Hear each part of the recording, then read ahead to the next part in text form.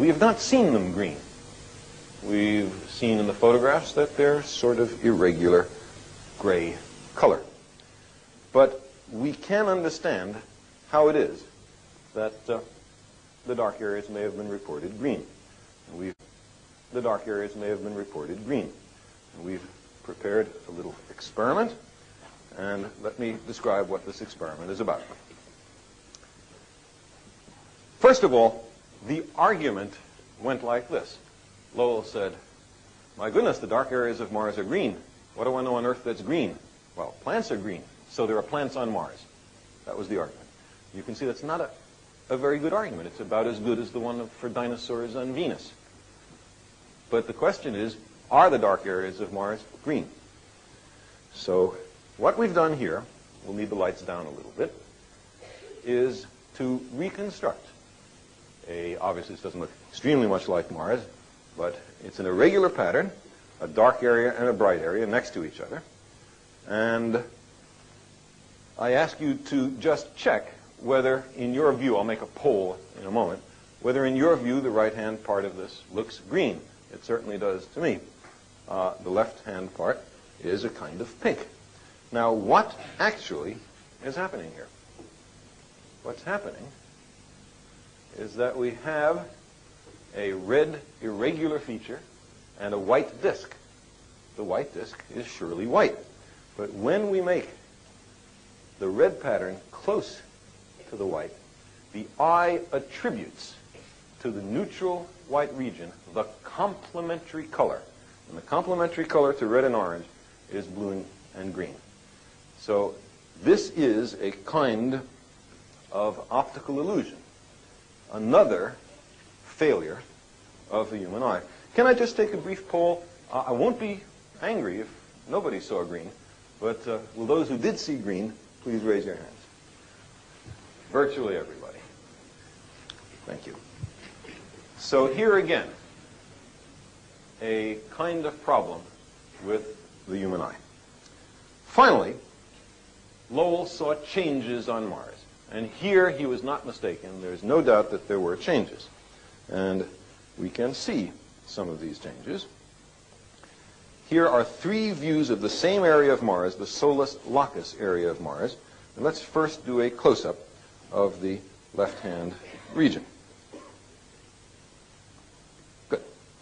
Now, we see a large polar cap, which uh, means it is winter right? In winter, the polar cap is large on Mars, and in spring, it is small. We see a only moderate contrast between the bright and dark markings. Here is uh, the Solis Lacus region. Now, if we can dissolve into the next image, lovely. This is the same region, but now in spring. We see with a small polar cap.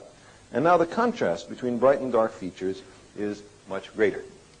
Lowell argued that what is happening here is that as the polar cap melts, the waters are carried down to the vegetation near the equator, and the vegetation grows, darkens the ground, and that's what's happening. These seasonal changes surely happen. We have them on photographs. Maybe they're due to vegetation. Maybe they're due to something else. That is a topic we'll cover in the next lecture. But let us now dissolve to the third view here. And here we see a vast, irregular, bright patch, which has simply covered over the uh, dark markings underneath. At the same season of the year, we see the small polar cap. Lowell correctly understood this to be a great dust storm, in which dust was carried by the Martian atmosphere over and obscuring the dark material.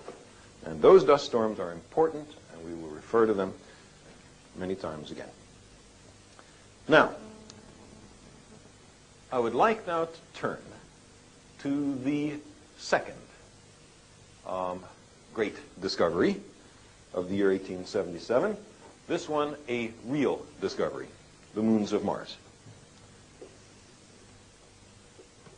Now, the moons of Mars had been an idea that, were, that was around for a long time. In fact, we can find it in the most unlikely places in a uh, story called Micromegas by Voltaire. and in the famous book by Jonathan Swift called Gulliver's Travels. It's an interesting place to find the moons of Mars, especially before they were discovered, but here it is. Volume 2, 1766, printed for C. Bathurst in Fleet Street.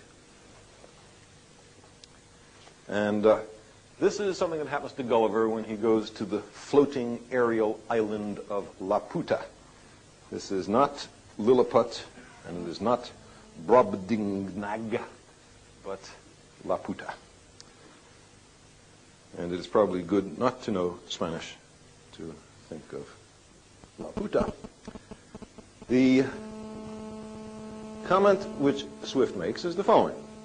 He says, they have extended their discoveries much farther than our astronomers, astronomers in Europe. They have likewise discovered two lesser stars, or satellites, which revolve about Mars, and then describes the distances of the moons from Mars and how long they take to go around the planet. And uh, these turn out to agree with a uh, relation first announced by Johannes Kepler, and he says, uh, that this evidently shows them to be governed by the same law of gravitation that influences the other heavenly bodies. Now, how could Jonathan Swift have known about the moons of Mars? He, he didn't get the distances and the, the length of the month exactly right, but even there he came pretty close. How could he have gotten the existence of the moons of Mars correctly? How could he know? There are many proposals on this, including one that he was a Martian, um, but there is excellent evidence that Jonathan Swift was not a Martian. He was very much a terrestrial. Well, we have to go even earlier in history in order to answer that question. Unlike the novelists and writers of romantic fiction of today, people in Jonathan Swift's time knew something about science. And uh, in particular, there was the idea which had been first formulated by Johannes Kepler in the 16th century that Mars had two moons.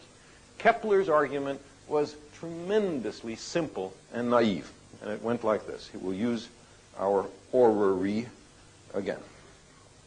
Uh, Kepler said, look, here's the Earth. It has one moon. Here's Jupiter. It has four moons, the four big moons that Galileo had discovered. That's all they knew then. Here's Mars in an intermediate position. Well, if it's in an intermediate position, it probably will have an intermediate number of moons, said Kepler. Why not? So what number is between 1 and 4? Well, that was well known in the 16th century, uh, 2 or 3. But uh, Kepler liked 2 because he liked geometrical progressions. He was a fan of geometrical progressions, 1, 2, 4, 8, 16. He loved such things. Um, and so he said Mars has two moons. Now, it's a silly argument, and what's more, Jupiter doesn't have four moons. It has 12 or 14 or 20 or something like that. They're being discovered every month. Um, and, and the argument breaks down even if it were a good argument. But Kepler was a famous astronomer, and for very good reasons. He was very clever. But he made mistakes, like everyone does. This was one of his mistakes. But what happened was people remembered the conclusion and forgot how silly the argument was. Said, ah, Kepler says there are two moons. So people believed there were two moons, although no one had found them. Then in the year 1877, a new telescope was completed outside of Washington, D.C. at the United States Naval Observatory and the astronomer Asaph Hall decided it would be a nice thing to go out and discover the two moons that everyone knew existed, but unfortunately no one had yet seen. And uh, so he went out and looked, couldn't see anything, looked again, couldn't see anything, came home discouraged, and told his wife that uh, this was foolhardy and he was giving up the search for the moons of Mars. His wife told him that she would hear no such thing, and he was to go right back to that telescope and find those moons of Mars. And he dutifully marched off to the telescope, and that very night found the first of the two moons of Mars. He called the two moons Phobos and Deimos.